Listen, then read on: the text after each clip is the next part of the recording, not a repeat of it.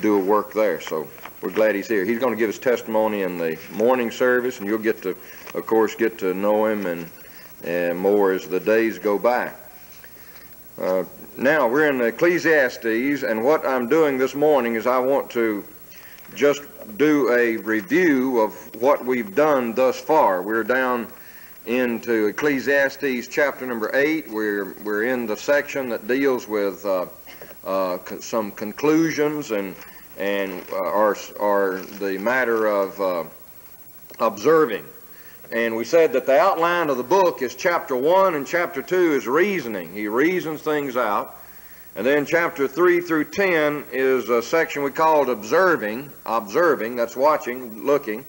And then chapters 11 and 12 making some uh, conclusions. So there are actually, I believe, we can summar, summarize the vanities up under 10 headings. And I'm sure it could be done different ways, but we're going to begin with chapter 2 and verse 15 and 16. And we're going to see that there is a vanity, there is a vanity in human wisdom. Now, these things we've already we've already covered before, but I, we're doing it again. There's value in some repetition and and going back over. Look at Ecclesiastes chapter number 2 and verse number 15. Then said I in my heart, As it happeneth to the fool, so it happeneth even to me. And why was I then more wise? Then I said in my heart that this also is vanity. For there is no remembrance of the wise more than of the fool forever, seeing that which now is in the days to come shall all be forgotten. And how dieth the wise man as the fool? You can demonstrate and display all the human wisdom you want to, but this world, in this world, you will live and you will die. And the majority of people on the face of this earth, the great majority of people on the face of this earth, will not know you by name. Um, the majority of people on this earth will never hear your name mentioned. Majority of people who've lived will never hear you mentioned. You can be a great, wise person according to human wisdom, but there is a vanity. He said in verse 15, As it happeneth to the fool, so it happeneth to me. You can be as wise as you desire to be, and as you can be, and in this world, the majority of people who live upon this earth will never know your name, and will not care what your name is, and will not care what you know or what you don't know. And uh, they just simply, that is the way the world is. So we're looking at vanity. You say, I'm going to be a great, uh, have great wisdom. Well, if that's what your desire is, then your desire is vanity. The Word of God's already got it, got your number there. Look at chapter 2 and look at verse number 19. chapter 2 and verse number 19. There is a vanity in human labor. Human labor, there's a vanity in it. Chapter 2, verse number 19. And who knoweth whether he shall be a wise man or a fool? Yet shall he have rule over all my labor wherein I've labored, and wherein I've showed myself wise under the sun. This is also vanity. Therefore I went about to cause my heart to despair of all the labor which I took under the sun. For there is a man whose labor is in wisdom, and in knowledge, and in equity. Yet to a man that hath not labored therein shall he leave it for his portion. This also is vanity and a great evil. So what happens is this. Uh, I labor, I work, I spend uh, time, I, uh, I take great pains to make sure that uh, that which I have labored for will be left to responsible people. I, I work and I save and I even take legal matters and I make a will. I, I draw up legal contracts and I want to leave it to a wise person. Yet, even if I'm able to leave it to one wise person, the next one comes along, will probably be a fool and waste everything that you have. Very, very, very uh, few things in this world a man can have control over beyond his grandchildren. And uh, even then, it's very difficult. Uh, most of the people work and labor and leave all of their wisdom and their labor for a fool right immediately after them. And sad to say, sometimes it's our own children. It shouldn't be that way, but sad to say, it is. There are many people who work and labor and do without and sacrificially live, and yet uh, then their own child comes after them and very frivolous and, and knows nothing of what it costs to have to uh, gain and pay and work, and they know nothing of that. And so it's easy come, easy go. And the money goes. There's a vanity of human labor. Uh, when you look at this world, uh, you can summarize everything under the name of vanity. I'm going to do a chalk picture one of these days. I've uh, got it. I, I, just a matter of uh, putting it on a board and working out a little detail, but but it has a lady or a woman, I should say, sitting in front of a a uh, uh, cabinet with a mirror. And this cabinet with a mirror, with all of her perfumes and all of her makeup and all of her jewelry is on this. And the way the shadows are, the mirror, the large mirror, actually forms a skull. And the shadows on it and so forth. And of course, that's a vanity. That's what that's why they call it a vanity. And uh, I just thought, what a what a tremendous illustration of the way this world is, with all of the paint and all of the uh, show and all of the pretense. The real character is not there. And under the sun, there is vanity and labor, vanity and hu human wisdom. You can get all of the uh, knowledge you want to get, and you're still uh, will be a vanity thing. Get all the do all the labor, and you try to try to maintain it right. And we have to understand this world is vanity. Then uh, look again. Look please at chapter two and look at verse number 26. Chapter two and verse number 26. And all of these I'm I'm prefacing with human. See, human wisdom, human labor, human purpose. There's a vanity in your purposing. You propose to do things. Um, verse number 26. For God giveth to a man that is good in his sight wisdom and knowledge and joy. But to the sinner he giveth travail to gather and to heap up, that he may give to him that is good before God. This also is vanity and vexation of spirit. Now, you may have a little difficulty picking up here. You have to understand, in verse 26, again, we're dealing with things under the sun. Dealing with things under the sun. All right, here's the sun. We're not looking above the sun. We're looking here at a man standing down here. Here's this man down here. What does he have? This is what he has under the sun. He's standing down here under the sun. God's up here. He is not looking at God. He's looking at everything under the sun. Wisdom under the sun, everything under the sun, labor under the sun, his purpose under the sun. Now, this man real, must realize down here that he can he can um, gather together and get get things up, and he gets them because it's all it's like God purposes to give to this man not a righteous man, but God allows even what we would call a sinner, a wicked man, we'd call him, we'd call him wicked man, he gets all of this money, he gets, he gets all of these goods uh, given to him. Why, there, there are people running around on the face of this earth with all kind of money. They don't know what to do with it. They got so much money, they don't know what to do with it. Where'd they get it? Who allowed them to have it? I'll tell you who, who gave it to them. God did. That doesn't mean, though, that that man is a saved man. Under the sun, to a man whomever God pleases, he'll give power, he'll give position, he'll give a place to. And then after he gives him all this money and all this power and all this position, the same God will take him and throw him in hell. What should it profit a man to gain the whole world and lose his own soul? How does a man get things in this world? Do, well, he doesn't get them unless God allows him to have them. And I don't have any problem saying God gives it to him. I, I, I will give a rat a piece of cheese to break his neck in a rat trap. God giveth to a man that's good in his sight wisdom and knowledge and joy. Oh yes, he, he they they oh so happy, you know, so happy. You can see them. their their joy, you know, their joy. There's a joy of this world. But there are a lot of people. Hey, there are a lot of people on their way to hell. They think they're having a good time.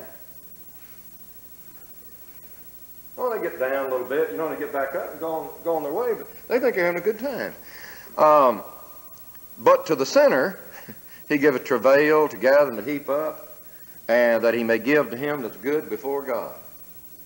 It's like uh, these sinners and these good, we're not talking about people going, we're not talking about people who are, are saved or lost. It's God shows favor on certain individuals, and God removes favor from certain individuals, and you can't stay his hand and say you can't do that or you shouldn't do that or you're going to do it like I think it ought to be done. Let's face it, folks. There are plenty, plenty of people that got all kinds of dough that think nothing about God. Who gives it to them? God does. And there are people who love God and serve God, and they have some. There's some people who have money, and they love the Lord and serve the Lord and, use it. Uh, and there's some people who love the Lord and serve the Lord, and, and man, everything they got, somebody rips them off all their life. They rip them off all their life. God lets it go on. There is a vanity down here on this earth that we could only see. Now, we have a short time to walk down here. And the short time that we walk down here, uh, it, it means nothing in light of eternity. It means nothing in light of eternity. Your children now that you think you have so much time with, you really have no time at all. They're going to be gone before you know it. The little ones that you worry about now have to carry out of church or try to keep them quiet in church, you know, and all of that, and change some of them, change their diapers, and, and they're all crawling around. These little ones that's running around on these steps and on Sunday night and, and playing and playing in the church and all. You watch them. You wait. You wait. One day you're going to turn around, you're going to look, and you're going to say, My children are gone. I used to have babies around my feet, and they're gone. No more babies. And you're going to look back over the years and you're going to wonder, how and where did that time go?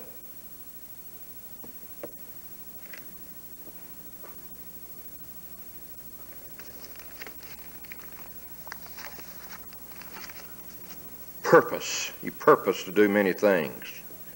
Our purposes don't work out. Our purposes are no good. Um, another one. Look at the uh, look at chapter 4 and look at verse number 4. Here's the vanity of human rivalry. That is, you can't do right and get away with it. Under the sun, crime does pay. Under the sun. If you're sneaky enough, crime does pay. A good work does not go unpunished under the sun. Do you realize that you can do 999 good deeds for your so-called friends, and then when you do not do the 1,000th one, they count you as an enemy? You realize that's the way this world is? Verse number four, again, I considered all travail and every right work, that for this a man is envied of his neighbor. You know what? You try to live clean, you know what somebody wants to do? They want to get you dirty as soon as they can. You get a young girl, a young girl, she's clean, she's pure. You know what some old uh, reprobate wants to do as soon as they can? They want to get her soiled. So they'll be like them. You know what they want to do? You go to a job, you go to work, you don't curse. You don't listen to the dirty jokes and filthy jokes. You know what some old reprobate wants to do as soon as he can? He wants to get you to stand and get that Christian to laugh with him and, and listen to the joke and tell the jokes with him. You'd love to see that. Why? Because he wants to justify his sin. He says, if he can do it, and that means all of us are just the same. He is bound for hell. He has a mind of hell, and he doesn't know what he's got. He's blind and trespassing in sins.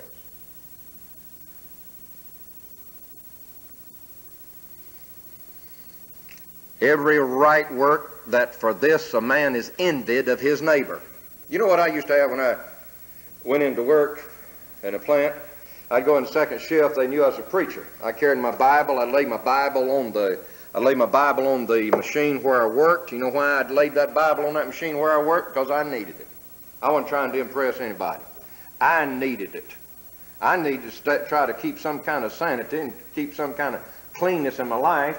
Uh, man, I you know I, I needed it myself. I wanted to go home at night to my wife and kids, and I wanted to go home at night clean and right, body and mind, and spiritually right with God because I had a goal out there somewhere that I wanted to pastor a church. I wanted to preach the Word of God someplace. I wanted to be a faithful minister someplace. And I knew I needed to be right. So I got my Bible and I put it there. I just, I found out I couldn't trust myself. I put my Bible there. I had to have my Bible right there with me. And, and, and I had to have something there visibly, man, to just keep me reminded.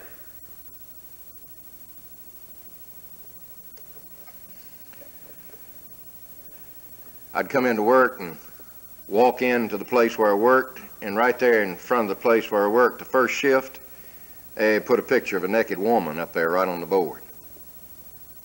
You know why they did that? You know why? For every right work, a man's envied of his neighbor. You know why they did that? Because that Bible was a rebuke to them. Somebody trying to live right was a rebuke to them somebody trying to live right around them, it took a cloak off their sin. It said, look, another human being can try to live right, and you got no, you got no uh, excuse for your actions. They said, we need excuses. Let's get Dave Reese down there into the hog pen with the rest of us and let him grove around slop. I already been down the slop. And uh, no thank you, brother. Once you got out of the slop and you had some of God's, you had some of God's uh, food on his table, you don't want the hog slop.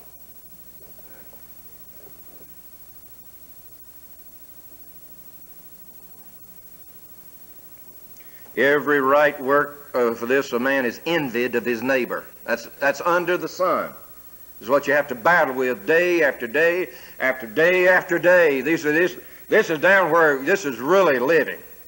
You can take the, all the days of our lives and as the world turns and throw that crap out the window because it means nothing. Bunch of sentimental slop that has nothing to do with reality anywhere. All it does creates a bunch of old neurotic women and men who look at it. Amen, preacher. Amen. If that's your diet, God help you. Rivalry, human rivalry. All right, look at avarice. That's the next one. Look at chapter 4, verse 7. I returned saw vanity under the sun. There's one alone, there's not a second. Yea, he hath neither child nor brother.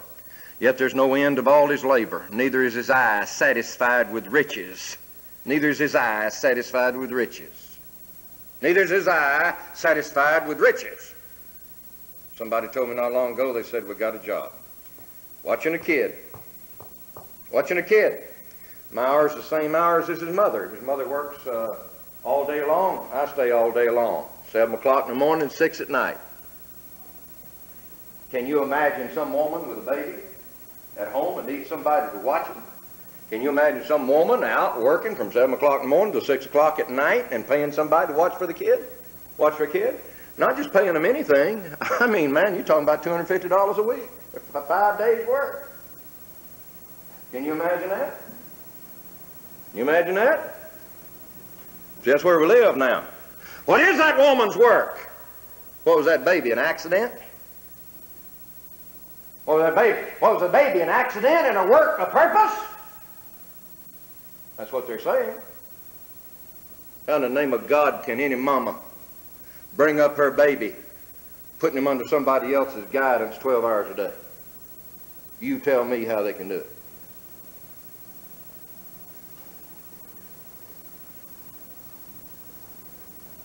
You say, we have to have it. No, you don't have to have it. What you'll have to have is one day you'll have to give answer to God for those children you didn't bring up in the nurture and admonition of the Lord. That's what you'll have to have. That's what all of us will have to have. Avarice. Insatiable desire for riches. Give it, give it. I'll sacrifice anything. I'll put my children on the altar of greed and covetousness just so I can get me some things. Things. Look at verse 16. Verse 16. Human fame. verse 16, chapter 4, verse 16. There's no end of all the people, even of all that have been before them. They also that come after shall not rejoice in him. All of you remember uh, the dopehead Elvis Presley. All of y'all remember him. Some people think you blaspheme when you say that. They don't know their they don't know their idol. But everybody here knows Elvis Presley. You wait 50 years. You wait 50 years and you ask some young person, who is he? You know what? He'll be as unknown as uh, Glenn Miller among the modern generation. Who is Glenn Miller to the modern generation who goes out and listens to the Rolling Stones? Who's Glenn Miller? Some guy way back yonder that played real Christian music, they think. Some guy way back yonder. Well, we were driving up to uh, uh, Greenville the other day, and, and I saw the bus come by, Glenn Miller Orchestra. I told my wife, I said, there goes a, she said, my goodness, said they, if that's anybody that played with him back in the 40s, they must be 80 years old now. uh, they had to have a, a, a, wagon load full of Geritol on the back there. if they were all, I don't think they were original members. But who knows who Glenn Miller was? Hey, who'll know who all these are? You can get all the singers. There are singers right now that uh, that you could name from the 20s that were very popular and people heard them back in 1920. Nobody knows who they are. Nobody cares who they are. Their music's gone. Their style is gone. But yet people, oh, they used to fall over them, slobber over them back in the 20s. They also that come after shall not rejoice in them. Fame goes, human fame goes. Desire. Desire. Look at the next one. Uh, chapter 5, verse 10. He that loveth silver shall not be satisfied with silver, nor he that loveth abundance with increase. This is also vanity. There's a vanity of human desire. You are not satisfied. Abundance never satisfies. You never get enough. If what you want is abundance, you never get enough. The vanity of desire. The vanity of desire. It never satisfies. Never satisfies. A quarter in the pocket never satisfied anybody. Doesn't satisfy. Look at chapter 6 and verse number 9. The vanity of covetousness. Better is the sight of the eyes than the wandering of the desire. This is also vanity and vexation of spirit. The matter of coveting. Then you've got the matter of laughter and frivolity. Look at chapter 7, verse 6. Chapter 7, verse 6. As for the crackling of thorns under a pot, so is the laughter of a fool. You see, jokes and laughing and comedy and comedians, it's loud, but it's not very long. It doesn't last very long. When you put thorns under a pot and set them on fire, it, they crack. They make a lot of noise, but they're gone soon. As the crackling of thorns under a pot, so is the laughter of the fool. This also is vanity. Your answer is not in clowns and jokes and laughing. Then uh, the last thing is the is the vanity of human purpose, or just I mean justice, human justice. Look at chapter eight. Look at verse number fourteen. Chapter 8, verse 14. All of these things. Chapter 8, verse 14. There's a vanity which is done upon the earth, that there be just men, unto whom it happeneth according to the work of the wicked. Again, there be wicked men, to whom it happeneth according to the work of the righteous. I said that this also is vanity. Uh, human justice, human justice. There's no justice on this earth. Human justice is vanity. No justice on this earth. You realize that our justice on this earth, uh, we don't have enough sense to really realize there have been many men placed in prison, spent years in prison, innocent men. Do you realize that today we have murderers walking around who hold government office? Murderers walking around who hold government office, and uh, they are responsible for the for the death of a person, and yet they can still hold the office of senator. You realize you realize that oh they must have some glorious glorious uh, methods of voting up in Massachusetts. This other bird that's up there now, I'm not, I wasn't referring to him before, but this bird I'm referring to now, this, this senator up there who is a, an avowed homosexual, who ran a homosexual call uh, thing out of his office in Washington, D.C., he's accused of that. And can you imagine people putting him in office? What's wrong with folks in Massachusetts? Same thing's wrong with them in Tennessee and in Alabama and in Georgia and in Florida. There's a vanity of justice in this world. Where is the justice in it? Brother Roger here this morning. Where's the justice? Where's the justice in throwing the Philippines to the communist dogs? That's what America's doing today. America's throwing the Philippines just like a bone, just like a bone to the communist dogs to eat up. You don't believe it? You ask him. You talk with him. God help us realize on the face of this earth under the sun there is vanity. Your only hope's in God. You need to get saved so whenever this short life is over, when Jesus comes back, you go to be with him. Amen. Let's stand together.